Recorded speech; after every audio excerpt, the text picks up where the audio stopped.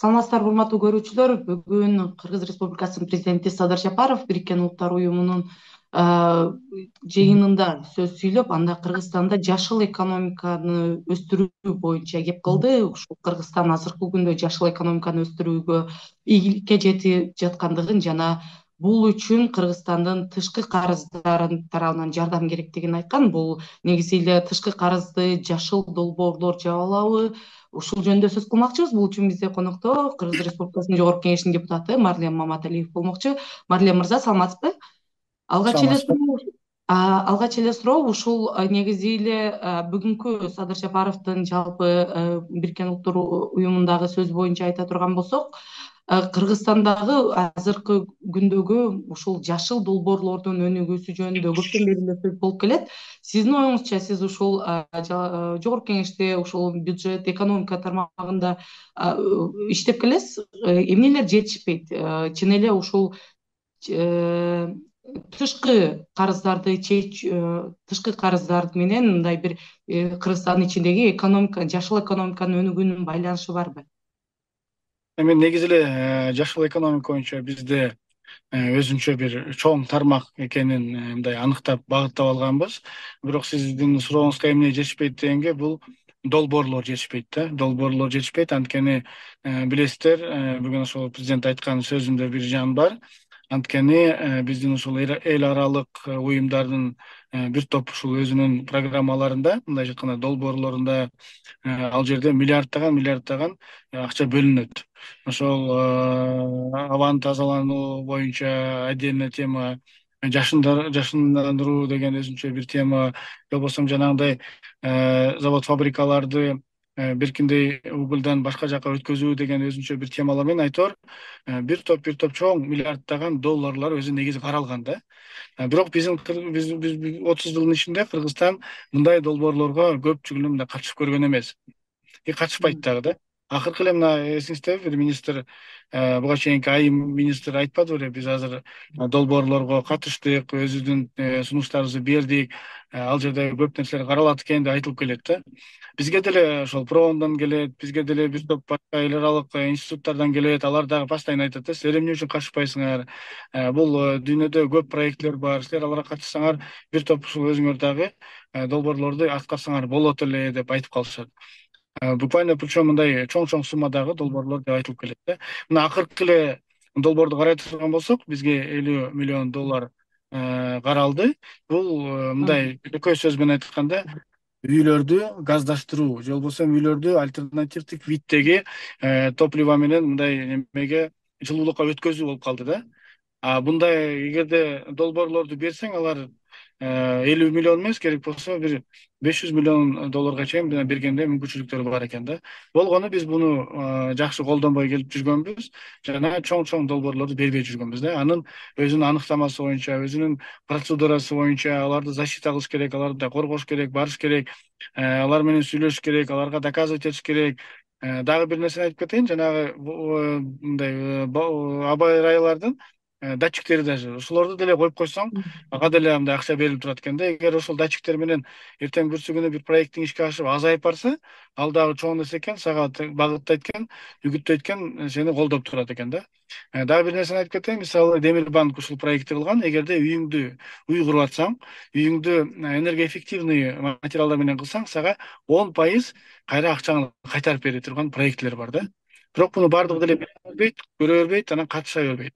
Ошого байланыштуу айтат элем эгерде мүмкүнчүлүк чоң эгерде биз бул туура пайдалансак туура багыт менен алсак ал жерден көп акчаларды алганга өзү негизи негиз бар да анан ошол тышкы карыз боюнча айта турган болсок бул эми президент жалпы э, дүйнөлүк э, коомчулукка ушундай э, өзүнүн сөзү менен чыкпады. Ушул эгер ушул тараптан жардам берсе жакшы болот эле депчи негизи кыргызстан мисалы акыркы ушул тышкы карыздын өсүп аткандыгы ички карыздын дагы өсүп аткандыгы жөнүндө маалымат берип келет бул расмий маалыматтар боюнча.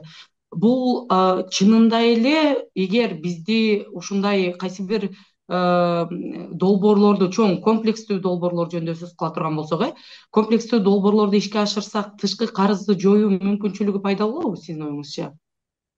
Эми э, бул баягы альтернативный сунуш катары кетти деп э, ойлойм. Анткени э, баягы айтып кеткендей бир топ чоң долбоорлор бар.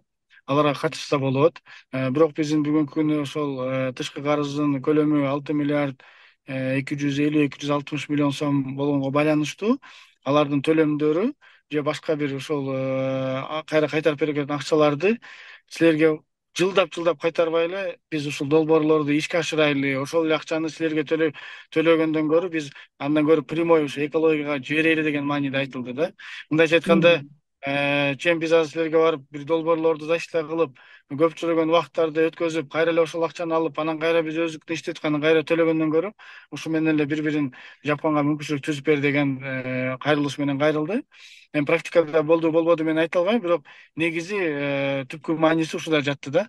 Э, келгиле биз ошол бере турган карызды биз сонун берип атабыз өз убагында берип атабыз бизде маселе жок экономикабыз өнүгүп атат. Бирок биз бул акчаларды дагы дагы экологияга жиберсек жалпы дүйнөгө жалпы баардык планетага жакшы болот эле деген таризде айтылды да анан негизи эле ошол жогорку кеңеш аркылуу өтөт да тышкы карыздарды мындай аларды кабыл алуу ошолорго уруксат берүү жөнүндөчү анан тышкы карыздардын тенденциясы азыр кандай болуп атат кайсыл тармактарга көбүрөөк кыргызстан азыр кайсы тармактарды өнүктүрүүдө көбүрөөк тышкы карыз эми мисалы дүйнөнүн баардык өлкөлөрүндө тышкы карызы бар кээ бирлердики мисалы кыргызстандыкын чоң дегенибиз менен биздики мындай аз эле да дүйнөлүк өлкөлөрдүкү салыштырмалуучу анан ошол тармак кайсыл тармактарды өнүктүрүүгө тышкы жардам көбүрөөк керек болуп атат эми негизи отуз жылда тилекке каршы биз ушул э, иретине келтирбей анан карап э, буга багыт коюп же болбосо бир направленияны алып алып кеткен эмеспиз да. Ким кайсыл жерден кандай алса ошентип кете берген. Эми астамдан мисалы ошол алты миллиард эки жүз элүү эки жүз алтымыш миллион тегерегиндеги үч миллиардка жакын бул э, бир гана жолдорго эле кетип калган. Эки миллиард алты жүз миллион элечи биздин жол куруу Э, мындайча айтканда инфраструктуралык гана багыттарга кеткен да. Инфраструктура конечно жакшы мамлекет көтөрүлүш өнүгүш үчүн ал керек. Э, бирок ошол эле учурда мисалы билесиздер койлорду алганбыз жана болбогон бир койлорду алар ошол бойдон жок болуп кетти. Ушуга окшогон көп нерселер жөн эле мындай жээрип кетти да эгерде биз өз убагында завод фабрикаларга өзүн өзү актай турган нерселерге кайра алып келип э, төлөө бир эле кайра карыздан кутулуп эмес кайра мамлекетке өнүгүп кеткечине салым кошо турган көп проекттер кылган эмеспиз да бул моюнга алып коюш керек деп ойлойм ал эми азыр болсо уже кичине багыт өзгөрүлдү азыр э, билесиздер ар бир тыйынды карап калдык э, кыргызстандыктар баардыгыбыз түшүнүп калдык бул керек болсо жети миллион калкына бөлүп койсок ар биринин моюна төрөлгөн даже жаранга жети жүз доллардан карыз айланып калат экенин дагы баары түшүнүп калган ошон үчүн э, мындай уже терең изилдөө менен карап калдык да айтайын дегеним э, азыркы э, направление өзүн өзүн актоо бул бир экинчиси проценттик ставканы өтө аз алып калдык мурда тилекке каршы төрт пайыз беш пайыз менен деле ала берген экенбиз азыр эки пайыздан ашпай турганды алып алганбыз анан эң акыркы ушул акыркы жылдары мындай жакшы жагы биз жарым жартылай э, грант болсун деп талап кылып баштадык эле. Ал дагы мына ишке ашып баратат да грант билесиз бул проценти жок бекер берилген мындай жарым жартылай акчасы э, ошол э, проекттер долбоорлор азыр ачып атат эми көбүнчөсү акыркы убактарда эле биз жогорку кеңеште алып аткандарыбыз көп эсе ушул как раз экологияга кетип калды да. Именно ушул экология багытындагы экология жаатындагы анан дагы деле жанагындай э, суу маселеси билесиздер таза суу маселеси жол маселеси айтор пока ушундай э, нерселерге кетип атат анан ошол тышкы карызды алууда сиз айтып келдиңиз буга чейинки карыздардын мындай инфратүзүмдөргө мындай узак убакытта жыйынтык бере турган эмес мультипликативдик эффекти жок кайсы бир проектилерге кеткен депчи. Анан ошол карыздардын азыркы күндөгү же мурдагылардын эффективдүүлүгүн кантип эсептейсиз мисалы сиз айткандай эле кыргызстан ар бир жети жүз жети жүз доллардан келе турган болсо булардын чынында ошого жараша өлкөгө пайда алып келдиби деген кантип эсептелет алардын кандай бааланат алардын алган кредиттин кайсы проектке долбоорго кеткенин эле санап койсок болот тилекке каршы бир топ долбоорлор өзүн өзү актабай жабылып кеткендер бар. Бир топ долбоорлор ошол ачылган бойдон эле ошо жабылып банкрот болуп кайра жээлип бирок кыргызстан өз мойнуна алып калгандар бар. Керек болсо жеке э, инсандар да калгандар бар экен да. Биз мындай предварительно мен өзүм жеке анализ кылып көргөм да. Ал эми эгерде э, мисалы завод бир завод курайлы. Биздин билесиздер импортозамещениени жаба турган азыр карыз алганга толук түрдө мүмкүнчүлүк кетирсе болот да. Башка мамлекеттен зависимый болбой ошол мамлекеттен эмнени алып атсак өзүбүздөн чыгарсак биринчиден бул экономиканын бирден бир көтөрүлүшүнө алып келет экинчиден ошол эле жумуш орун түзүлөт үчүнчүдөн независимость башка мамлекеттерден алып келет анан төртүнчүсү бул кайра өзүн өзү актап Э, жазылган фин план боюнча үч жылда акталса үч жылда акталат дагы кайра андан ары мамлекетке пайдасын алып келе берет эле да ушундай долбоорлорду биз өзүн өзүн актады деп айта алабыз эми беш жылдан ашпаган да беш жылдан ашпаган любой долбоор бул э, эффективдүү деп эсептелет баягы э, срок окупаемости деп коебуз го ошол срок окупаемости беш жылдан ашпаса мөөнөтү бул жакшы долбоорлордун ичине кирет анан э, жалпы эле жашыл жашыл экономика темасына келе турган болсок кыргызстанда мисалы э, бул көп жылдан бери э, көтөрүлүп келет мисалы эки миң жыйырма үчүнчү жылы эки миң жыйырма экинчи жылдары биз ошол бириккен улуттар уюмунун башкы ассамблеясында кыргызстан эки миң отузунчу жылга чейин жанагы абага болгон абага болгон начар бөлүнүүлөрүн бир кырк төрт пайызга азайтат деген дагы дүйнөнүн отуз эң мыкты өлкөсүнүн катарына кирет деп э, мындай сөз бергенбиз да анан ушул нерселерди кабыл алууда мисалы эл аралык эксперттер дагы кыргызстан жөнүндө айтыптыр ушул кыргызстанда мындай э, кыскача мисалы ошол эле сиз айткандай үйүн кылып берген же болбосо башка деген мындай майда проектилерге көбүрөөк бөлүнүп атат депчи анан комплекстүү проекттер мисалы толугу менен жашыл жашыл болгон шаарча район куруу деген мындай бир чоң проектилер жөнүндө сөз болбой атат депчи негизи ушундай проектилерде бизде мүмкүнчүлүк барбы? Аларды жактап Э, ошол э, дүйнөлүк ар кандай жашыл акча берген э, уюмдарга барып жактап алардан акча алып келгенгечи себеби дегенде биз билебиз бул азыр дүйнөлүк экономиканын триллиондогон долларлары ошол жашыл экономикага бөлүнүп атат да.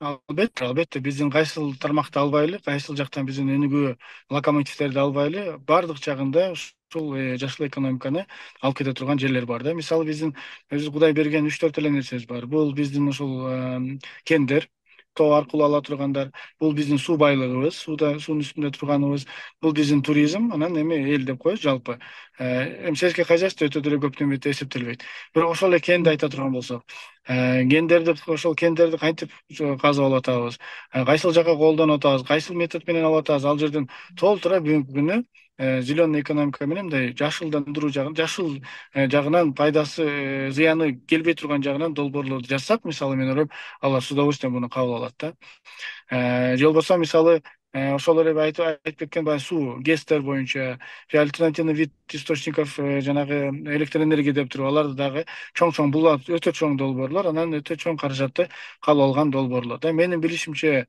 азыр эми э, мына акыркы учурларда бизде жакшы мына экономика көтөрүлүп бюджет көтөрүлүп келип атат буга чейин эми бүт эле коррупция менен күрөшүү болду эми бир учур келди го дейм как раз ушул адеп мындай Э, ар бир э, долбоорлорго мындай өзүнчө бир индивидуальный подход менен анан ушул жашыл экономикага көбүрөөк э, көңүл бура турган убакыт келди деп айтат элем да.